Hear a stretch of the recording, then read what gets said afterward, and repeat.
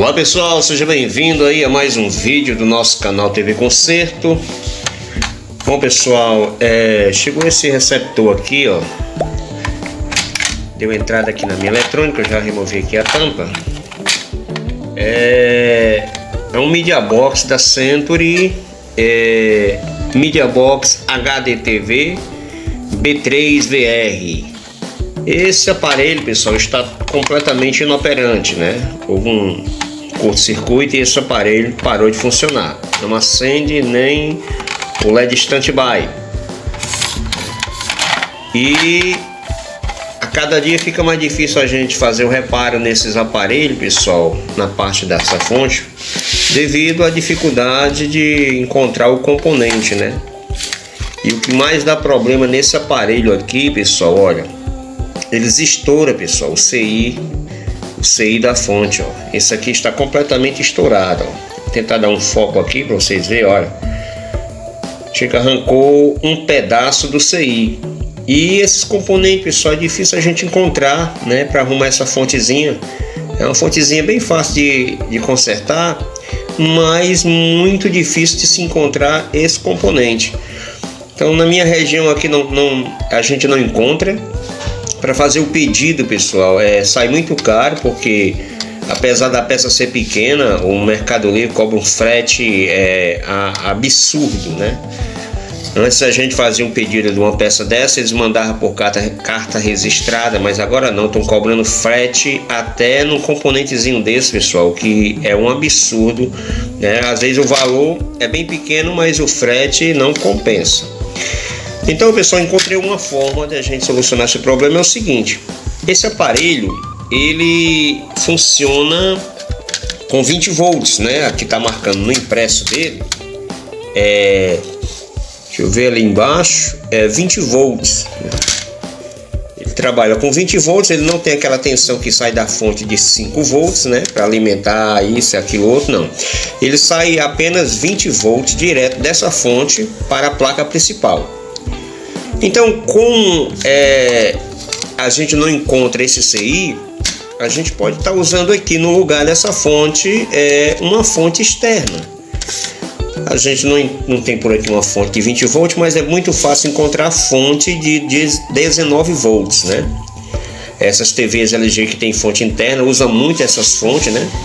Fonte de 12 volts ou de 18 volts a 19 volts. De 12 volts eu não aconselho, pessoal, porque se você usar uma fonte de 12 volts nesse aparelho, provavelmente só vai pegar um lado de canais, né? Vai ficar faltando alguns canais que é polarizado com a tensão de 18 volts, né? De 15 a 18 volts. É. Os canais que é polarizado é, é de 13 volts, é 12 volts, é 13 volts, vão pegar, mas os canais que recebem a polarização de 15 a 18 volts, então não vão pegar. Então eu aconselho usar aqui uma fonte de 19 volts. A gente vai fazer aqui, né, a gente vai arrancar essa fonte fora. Vamos, eu vou conectar um cabo, vou colocar um adaptador aqui, né, de fonte, para a gente apenas conectar a fonte ao aparelho, né? Vai ficar uma fonte externa, como muitos aparelhos possuem uma fonte externa, né? Veja que essa fonte aqui é bem pequena, não tem como a gente adaptar uma outra fonte aqui dentro que não seja do mesmo tamanho, né? Então, a única solução para a gente estar tá arrumando esses aparelhos, pessoal, é instalando uma fonte externa nesses aparelhos. Então, o conector onde estava é o cabo que vem da fonte. Então, a gente vai arrancar esse conector aqui, né? Vamos, vamos arrancar ele, é bem melhor. Eu não quero botar aqui por, por baixo da placa, mas até que daria também certo, para não mexer no conector. Aqui, pessoal, só tem, ó, só tem uma entrada de voltagem, tá entendendo? É o GND e os nossos 20 volts que viria, que deveria vir da fonte, né? Que agora a gente vai usar, eu vou usar essa fonte aqui, pessoal, ó. É uma fonte de 19.5 volts, ó. É uma, uma, fonte bem, bem bacana, até bem porreta nessa né, fonte, né? Bem estruturada. Ela tem uma amperagem, deixa eu ver aqui, onde é que marca é desse lado não dá pra ver pessoal não tá marcando aqui deixa eu ver é 1.3 é tá aqui É uma fonte 19.5 de, de voltagem, ela tem uma amperagem de 1.3, né? Então, é, essa fonte vai se vai dar mais que que bom, né? Nesse aparelho aqui. Então a gente vai conectar aqui, ó. Nós temos aqui o nosso GND, né? Que está aqui. Aqui é o nosso GND desse lado aqui, pessoal. Deixa eu pegar aqui uma, alguma coisa para mim identificar. Bem aqui, deixa eu aproximar aqui a luz para mim ver, pessoal, porque é uns nomes aproximar aqui a luz para mim ver um pouco aqui. Deixa eu ver aqui. Ah, pessoal, vai ser conectado o GND, ó. Usando colocar aqui é, o fio negativo, né, da nossa fonte, desta fonte aqui. A gente vai colocar o GND aqui é, pro lado desse CI, né? Não é conectado no CI, né? Pro lado dele. E desse outro lado aqui a gente vai conectar aqui o positivo da nossa fonte, que é os nossos 19 volts. Virando a placa, vai ser assim, ó. Vamos conectar aqui os 19 volts nesses dois pinos aqui, ó. Os 19 volts nesses dois pinos e o nosso GND nesses dois pinos aqui, ó. Tá bom? A gente vai fazer aqui, eu vou colocar aqui. Só que eu não vou é, pessoal, cortar o fio aqui para para soldar direto não. Tá vendo? Eu não vou cortar o fio, tirar o conector para soldar aqui não, de jeito nenhum. Eu vou colocar dois fios aqui e vou é, adaptar um conector para encaixar aqui nesse conector da fonte, ó. Entendeu? Eu vou fazer um furo aqui, ó, na carcaça, né, na, na no móvelzinho do, do aparelho e aqui eu vou é, instalar aqui um, um conector de entrada, né? Para encaixar o nosso plug da nossa fonte aqui, ó. E aqui eu vou soldar o fio, né? Os fios vão estar soldados no conector, né? Deixa eu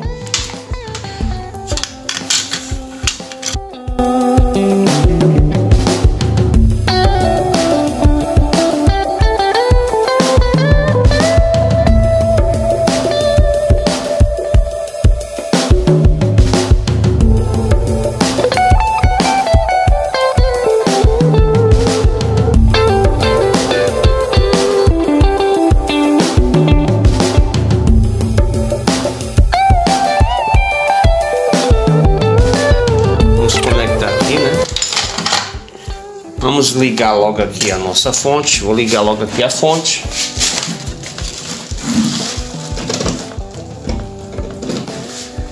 Nossa fonte já está ligada. Vamos medir aqui no multímetro. É o valor da fonte. Vamos medir aqui. Olha só, 19.72, né? Vamos conectar Vamos conectar, né? No nosso aparelho, vamos ver se funciona de verdade, né? Vamos ver. Olha só, o aparelho já ligou, ó. Standby aceso. Vamos aguardar aqui. Ele ligar. Ele liga sozinho automaticamente, ó. Até ficar verdinho, ele está ligado. Ok, ó. O aparelho está ligado, pessoal, já. Não tem como testar aqui porque né? Tá à noite, eu tô sem a antena no canto. Sempre quando eu conserto aparelhos da, da parabólica, eu, eu tenho uma antena que eu coloco na hora ali, pessoal, lá de fora, e já faço o teste. Mas agora tá muito tarde, né? Já é a noite. E não tem como a gente testar, mas sei que o aparelho já está funcionando perfeitamente. Agora eu vou testar a saída do Tanner, pessoal, se é se tá tudo ok, né? Vou colocar aqui Deixa eu abrir mais aqui a câmera. Coloquei aqui um um resistor, mas não vou medir o resistor, né? Vou medir aqui o a gente vê aqui a voltagem do Tanner. Não sei se dá para vocês verem daí. Deixa eu colocar aqui o multímetro. Deixa eu ver por cima aqui do aparelho. Não dá certo, né, pessoal? Tem que ser aqui. Não sei se dá para vocês verem daí, pessoal. É, vamos lá. Vamos ver quantos volts está chegando. Ó. Vamos ver. Vou medir aqui. Olha só, pessoal. 19.20 volts. Ó. Quando esse aparelho estiver ligado a, ao LNB, vai ter uma, uma pequena queda, né? né? Como eu disse, de 13 a 18 volts, ó, pessoal, para polarizar os dois lados. Se eu tivesse usado ali, em vez da fonte de 19 volts, tivesse usado a de 12 volts, não ia dar certo para polarizar alguns canais, pessoal.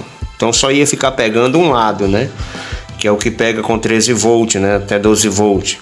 Então aqui o aparelho está funcionando perfeitamente, tensão está absolutamente correta para alimentar o LNB e o aparelho vai funcionar corretamente lá na casa do cliente. Tá bom, pessoal? Se você gostou dessa dica, dessa opção aqui, é, deixa aí o seu joinha, tá bom, pessoal? Deixa aí aquele comentário bacana, né? Deixa aí aquele comentário se você gostou dessa dica. Compartilhe esse vídeo aí com seus amigos. Se inscreva no canal, você que ainda não está inscrito, né? Ativa aí o sininho. Não esqueça de, de ativar aí o sininho, pessoal, porque é, o YouTube vai lhe notificar todas as vezes que a gente postar um vídeo aqui no canal, tá bom, pessoal? Se você quiser ser membro desse canal, pessoal, clica aí nesse botãozinho azul que tem aí, seja membro e se torne um membro desse canal, tá bom? Fique com Deus, um abraço e até a próxima em nome de Jesus.